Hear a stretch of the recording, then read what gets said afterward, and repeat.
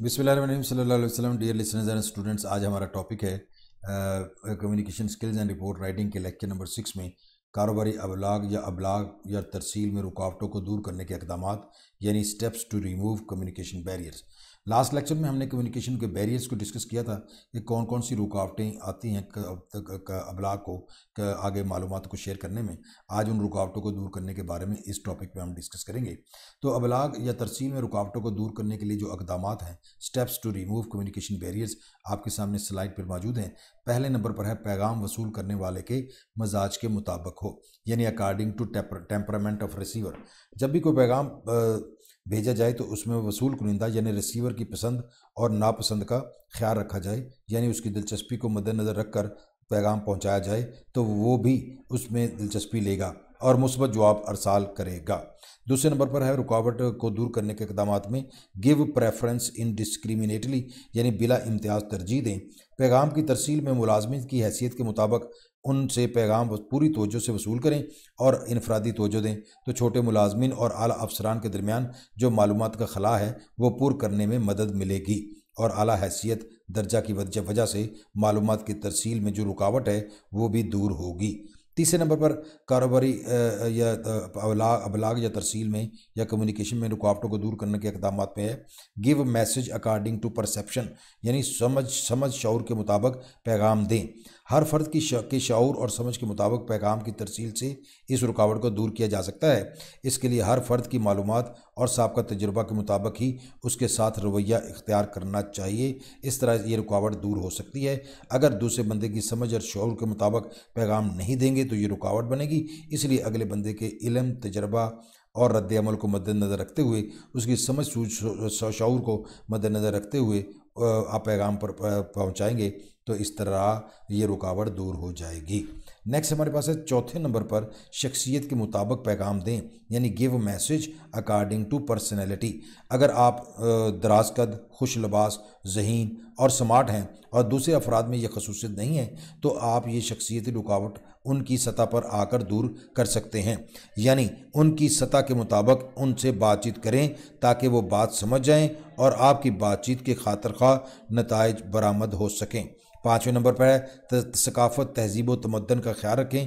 Cap care of culture جیسا کہ میں پہلے بتا چکا ہوں کہ ثقافت و تہذیب و تمدن بھی مختلف افراد کے درمیان پیغامات پیغامات کی ترسیل اور وصولی میں رکاوٹ بنتی ہیں۔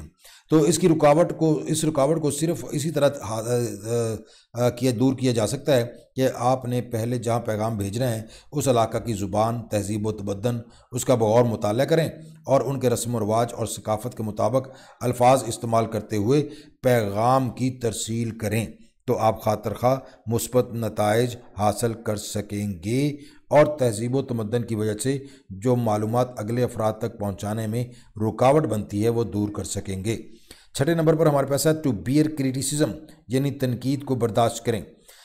اگر ماتحت افراد آپ کے پیغامات سے غافل رہتے ہیں یا ان کی سمجھ میں نہیں آتے، تو آپ ان میں تحریک پیدا کریں موٹیویشن پیدا کریں کہ وہ آپ کی غلطیوں کی نشاندہی کریں اور اپنے اختیارات کا ناجائز استعمال نہ کریں۔ اپنے آپ پر تنقید سے اپنا رویہ درست کریں تو اختیارات کا استعمال بھی بہتر ہوگا اور آپ میں گفتگو کا خلا بھی پر ہو جائے گا، فل ہو جائے گا اور یہ رکاوٹ بھی دور ہو جی ہو جائے گی۔ اس کے بعد سیون نمبر پہ ہے، زبانی پیغامات میں لہجہ کی درستگی یعنی ٹو کریکٹ ٹون اگر آپ کو کوئی پیغام زبانی کمیونیکیٹ کر رہے ہیں یا کوئی تقریر کر رہے ہیں، تو اپنا لہجہ اس کو مناسب رکھیں۔ نہ ہی بہت دھیما ہو اور نہ ہی بہت تیز اور اونچا۔ اس سے پیغامات کی ترسیل میں جو رکاوٹ آتی ہے، اسے دور کیا جا سکتا ہے۔ آٹھویں نمبر پر ہے ذریعہ یا میڈیا۔ پیغامات کی وصولی اور تسیل میں اگر مناسب ذریعہ اختیار نہ کیا جائے تو یہ بھی معلومات حاصل کرنے یا بھیجنے میں رکاوٹ پیدا کرتا ہے۔ خواہ آپ تقریر کر رہے ہوں یا تحریری پیغام دے رہے ہوں، آپ کے اشعارات اور تاثرات اس طرح کے ہونے چاہیے کہ اگلا فرد اس کو آسانی سے سمجھ سکے اور مثبت جواب کی توقع اسی وقت کی جا سکتی ہے جب وہ آپ کے پیغام کو سمجھ لے، کیونکہ اس رکاوٹ کو مناسب ذریعہ اختیار کرنے سے دور کیا جا سکتا ہے۔ نائن نمبر پر ہے کہ ابلاغی رکاوٹوں ابلاغ میں، رکاوٹوں کو دور کرنے کے اقدامات میں پیغام کے وصول کنندہ کی درست شناخت یعنی ایڈینٹیفائی ریسیور معلومات کی ترسیل میں اگر وصول کنندہ ریسیپنٹ یا رسیور کے علم، قابلیت اور شعور کا درست تجزیہ پہلے سے کیا گیا ہو، تو سب سے بڑی رکاوٹ کو دور کیا جا سکتا ہے۔ آخری پوائنٹ ہمارے پاس ابلاغ میں رکاوٹوں کو دور کرنے کے اقدامات میں بیرونی مداخلت پر پابندی بین آن ایکسٹرنل انٹرفیرنس اگر رسیور اور سینڈر معلومات کے تبادلہ کے سلسلہ میں آپس میں گفت و شنید کر رہے ہوں تو ملاقاتیوں پر پابندی اور ٹیلی فون اٹینڈ کرنے پر اسسٹنٹ کی ڈیوٹی لگا دینے سے مداخلت کی وجہ سے باتوں میں جو خلا پیدا ہوتا ہے یعنی گیپ بٹوین کمیونیکیشن پیدا ہوتا ہے، تو اس کو دور کیا جا سکتا ہے۔ تو ڈیئر لسنرز اینڈ اسٹوڈنٹس آج کا یہ ٹاپک ہمارا ابلاغ میں رکاوٹوں کو دور کرنے کے اقدامات یہیں پہ مکمل ہوتا ہے۔ تو اگلے ٹاپک تک کے لیے اجازت۔ تھینک یو فار واچنگ اللہ حافظ۔